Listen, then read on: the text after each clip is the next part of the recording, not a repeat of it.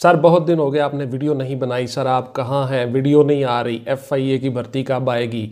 148 PM में long course आ गया sir. उसकी वीडियो नहीं आ रही। फ्लाम वीडियो नहीं आ रही। सर, प्लीज़ प्लीज़ प्लीज़, बहुत से आप लोगों के सवाल जी। असलम मैं हूँ रज़ा बुखारी और आप देख रहे हैं बुखारी स्पीक्स यूट्यूब चैनल। तो इस चैनल पर मैं आपके लिए मुख्तलिफ़ सर्विस ओरिएंटेड वीडियोज़ बनाता हूँ, जैसा कि आपको पता है।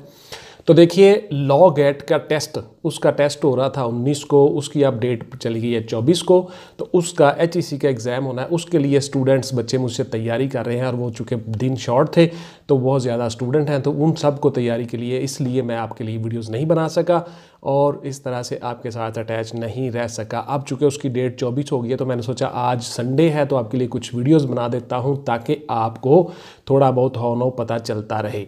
दूसरी बात ये थी कि मेरे साथ कुछ इन्फॉर्मेशन शेयर हुई थी, इसलिए मैंने ये वीडियो बनाना मुनासब समझा और आपको बता रहा हूँ कि एफ़ में भर्ती कब आ रही है।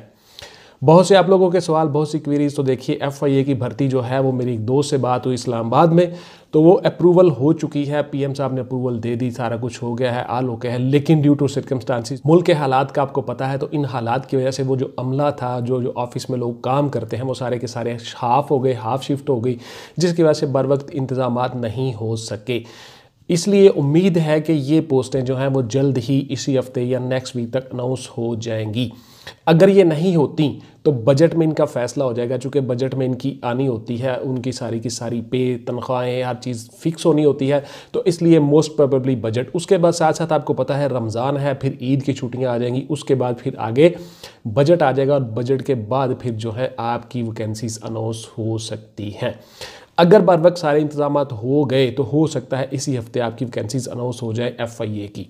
दूसरी बात यह है कि आप लोग अपनी तैयारी अच्छी तरह से करें, आपको ज़्यादा टाइम मिल गया है। ये भी आप लोगों का बहुत ज़्यादा, मैं बहुत ज़्यादा सवाल अब करते हो तो मैं आपको बताता होता हूँ। लाइव लेक्चर्स में अकेडमीज़ में भी मैं आपको ये चीज़ शेयर करता हूँ कि आप क्यों इंतज़ार करते हैं कि जी डेट आएगी ऐड आएगी, फिर हम तैयारी शुरू करेंगे। पुत्र, ऐसा नहीं होता। आप लोगों ने तैयारी जारी रखनी होती है। ऐड आए, देर से आए, ना आए, जल्दी आए, बदेर आए। आप लोगों ने तैयारी करनी होती है और आप लोग तैयारी के साथ हमेशा टच रहते हो। ये एक मुकम्मल प्रोसेस होता है। देखिए, जो जितना ज़्यादा कोशिश कर लेगा एफर्ट कर लेगा, वो उतना ज़्यादा सक्सेसफुल कामयाब होगा। आप लोग जो है, वो तैयारी कम अज़ कम कम अज़ कम छः माह, सात माह, आठ माह, बल्कि साल साल, डेढ़ डेढ़, दो दो साल से लोग बैठे हुए तैयारी कर रहे होते हैं। तो आप लोग तैयारी जारी रखें। आप लोगों के लिए ये टाइम मिल रहा है, आपको फ़ायदा मिल रहा है। बहरहाल, मेरी इस्लामाबाद में एक दोस्त से बात हुई है वैकेंसीज आ रही हैं बहुत जल्दी। अगर बजट के बाद भी आती हैं तो आपके पास अभी भी तकरीबन एक माह बाकी है तो आप उसमें आसानी के साथ तैयारी कर सकते हो, अच्छी तरह से। जो जो चीज़ें जिस जिस तरह से मेरी बहुत सी वीडियोस पड़ी हुई हैं एफ़ के मतलब तो उनके मुताबिक आप अपनी तैयारी जारी रखो। बहुत सी वीडियोस मैंने आप लोगों के बनाई हुई हैं। आपने तैयारी कैसे करनी है? मुझसे अक्सर बच्चे सवाल करते हैं कि, सर, कोई एक बुक बता दें। तो देखिए, बुक, सिंगल बुक का ये काम नहीं है। आपने बहुत सारी तैयारी करनी होती है। दुनिया में कोई ऐसी बुक नहीं है जिस एक बुक के ऊपर पूरी दुनिया का नॉलेज पड़ा हो। तो आपने मुख्तलिफ़ टॉपिक्स पे ऊपर काम करना होता है। मुख्तलिफ़ चीज़ें इकट्ठी होती होती हैं, कलेक्ट करनी होती हैं। It's not a single book game. आपने मुकम्मल तैयारी करनी है।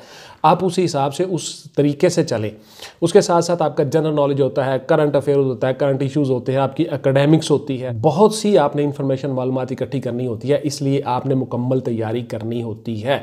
दो, चार, दस, पंद्रह बुक्स आपको पढ़नी पड़ती हैं, उसके साथ साथ मुख्तलिफ़ तरीक़ाकार हैं।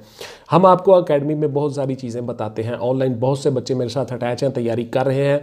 उन सबको मैं हर चीज़ बता रहा होता हूँ, आप भी मेरे साथ ऑनलाइन तैयारी कर सकते हैं। जो मेरे चैनल का नाम है बुखारी स्पीक्स और बुखारी स्पीक्स अकेडमी के नाम से मेरा एक इंस्टीट्यूशन है गुलबर्ग, लाहौर में वहाँ पर बच्चे तैयारी करते हैं। लेकिन आजकल चूँकि आपको पता है हालात की वजह से एजुकेशनल इंस्टीट्यूशन सारे के सारे बंद हैं इस पर गवर्नमेंट पॉलिसी तो ऑनलाइन बच्चे मुझसे तैयारी कर रहे होते हैं ऑलरेडी बहुत से बच्चे मेरे पास तैयारी कर रहे हैं पूरे पाकिस्तान से।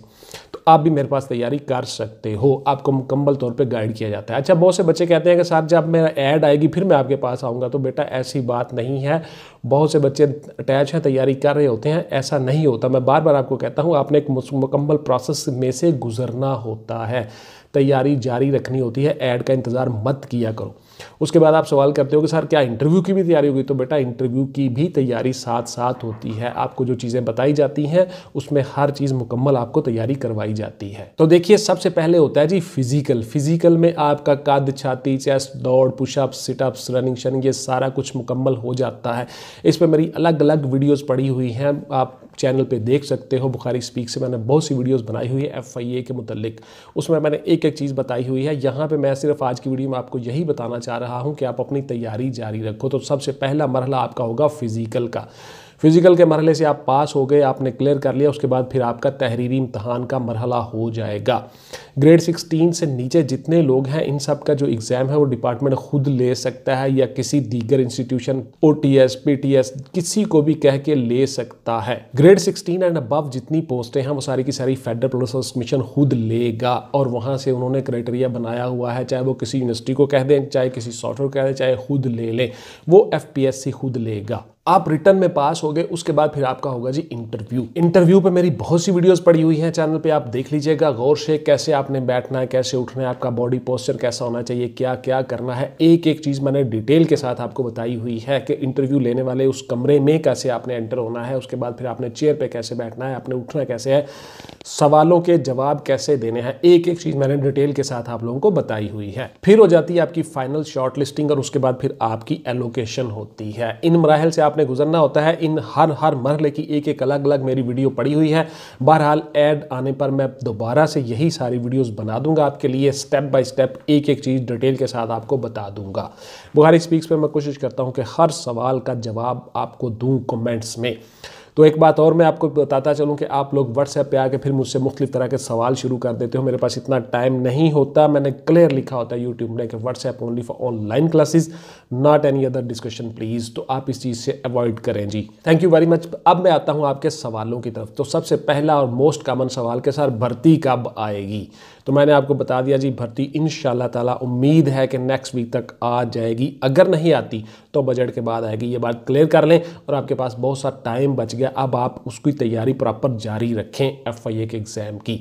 जिस भी इंस्टीट्यूशन से तैयारी कर रहे हैं, जहाँ से भी कर रहे हैं, आप अपनी तैयारी जारी रखें। अगर आप चाहें तो ऑनलाइन मुझसे भी तैयारी कर सकते हैं। अप्लाई कैसे करना है सर, ये बता दें। तो देखिए, जब ऐड आएगी, उसमें हर चीज़ क्लियर कट लिखी होगी कि आपने अप्लाई कैसे करना है और किस किस तरह से, किस किस मरले से गुजरना है।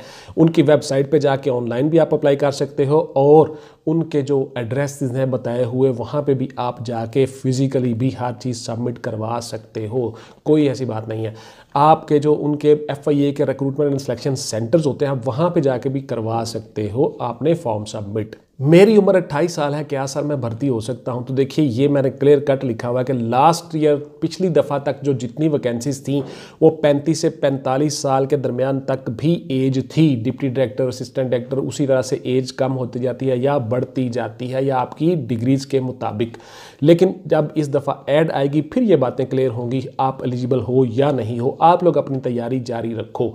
कभी भी तैयारी ज़ाया नहीं जाती। कोई भी एग्ज़ाम आए, कुछ भी आ जाए, आप उसमें अपेयर हो जाओ तो आप तैयारी जारी रखो। नॉलेज इल्म आपसे कोई छीन नहीं सकता कि मेरी एज इतनी हो गई तो मैं कर नहीं सकता, मैं फला नहीं कर सकता। आप अपनी तैयारी जारी रखें ऐड आने पर ये चीज़ें क्लियर होंगी। मैंने चार साल बी एस ऑनर किया हुआ है। क्या मैं अप्लाई कर सकता हूँ? आपके लिए भी वही है जी कि जब ऐड आएगी, आप उसमें क्लियर हो गए। बहरहाल, मेरे अंदाजे के मुताबिक आप एलिजिबल हो, आप कर सकते हो।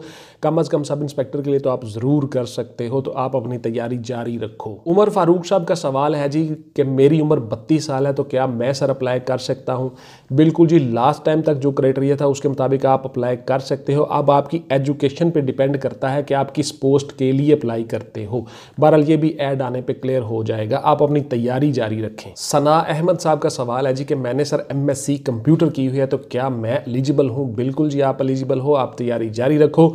अब आपकी एज क्राइटेरिया क्या है? आपने किस पोस्ट के लिए अप्लाई करना है? ये चीज़ें ऐड को देखकर आप उसके मुताबिक क्लियर कर लोगे और ऐड आने पे ये सारी चीज़ें क्लियर हो जाएँगी। आप अपनी तैयारी जारी रखें। अगला सवाल है जी, नौशहरा से बिलाल अहमद का कि, सर, इसमें कद की कितनी अहमियत है? मेरा कद थोड़ा सा छोटा है तो क्या मैं एलिजिबल हूँ? कद क्या मैयर किया जाता है? क्या कद को अहमियत दी जाती है? बिल्कुल जी, इसमें कद की मैयरमेंट होती है। पाँच फिट छः इंच अमूमन कद चलता होता है, लेकिन ऐड आने पे मज़ीद क्लियर हो जाएँगी चीज़ें कि इस दफ़ा उन्होंने क्या क्राइटेरिया रखा है, क्या पिछला क्राइटेरिया रखा है, या कुछ तब्दीली की है। तो कद की अहमियत होती है जी, क्योंकि यूनिफॉर्म फोर्स है और आप लोगों ने ट्रेनिंग करनी होती है, आप लोगों ने मुलजमों को पकड़ना होता है, हर चीज़ करनी होती है तो कद की इसमें अहमियत है जी। अब मुझे नहीं पता कि आपका कद कितना है और आप किस कदर कंडोनेशन चाह रहे हो, लेकिन चूँकि कंडोनेशन आजकल ख़त्म हो चुकी है तो कद की अहमियत है जी, इसमें ऐड आने पे क्लियर हो जाएगा। अहमद यार का सवाल है जी शिकारपुर सिंध से कि क्या मैं सर सिंपल ग्रेजुएट मैंने किया हुआ ग्रेजुएशन हूँ, मैं सिंपल तो क्या मैं डिप्टी डायरेक्टर के लिए एलिजिबल हूँ? तो देखिए जी, फ़िलहाल तक आप पिछली दफ़ा जो एड आई थी, उसके मुताबिक तो आप एलिजिबल नहीं हो डिप्टी डायरेक्टर के लिए। लेकिन ऐड आने पे मज़ीद क्लियर होगी कि आप कर सकते हो या नहीं कर सकते हो। मेरे अंदाजे के मुताबिक ये एम एम एस सी के इक्वलेंट होता है डिप्टी डायरेक्टर की पोस्ट के लिए।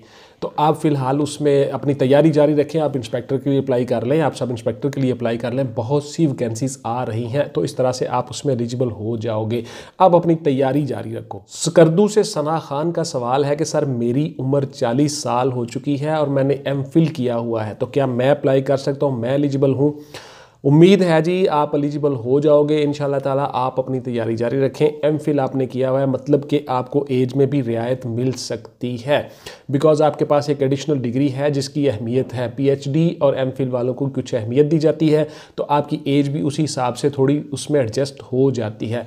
आप एलिजिबल हो जाओगे, लेकिन मैं फिर से भी बात दोहरा रहा हूँ कि एड आने पर कन्फर्म होंगी ये सारी चीज़ें। क्या सर एफ़ आई ए की एड को भी को मेडिकल के इशूज़ हो गए हैं, ये क्यों नहीं आ रही? एक आप में से एक बच्चे ने बड़ा दिलचस्प सवाल किया कि इसको भी वो हो गया जी, फलाँ हो गया जी, ये हो गया, इसको मेडिकल के इश्यूज़ हो गया, ये हॉस्पिटल चली गई हैं जॉब्स तो ऐसा नहीं है भाई, इसमें कुछ ऐसी चीज़ें होती हैं कि देखिए, जब यकदम मेडिकल के कुछ हालात ऐसे हो गए लॉकडाउन करना पड़ गया, ये सारी चीज़ें गवर्नमेंट को करनी पड़ गई तो उसके साथ साथ फिर कुछ ऐसे इदारे भी थे जिनकी नफरी जो थी, जिनके ऑफिसर्स थे, काम करने वाले बंदे जो थे, वो हाफ़ कर दिए गए या शिफ्ट वाइज कर दिए गए।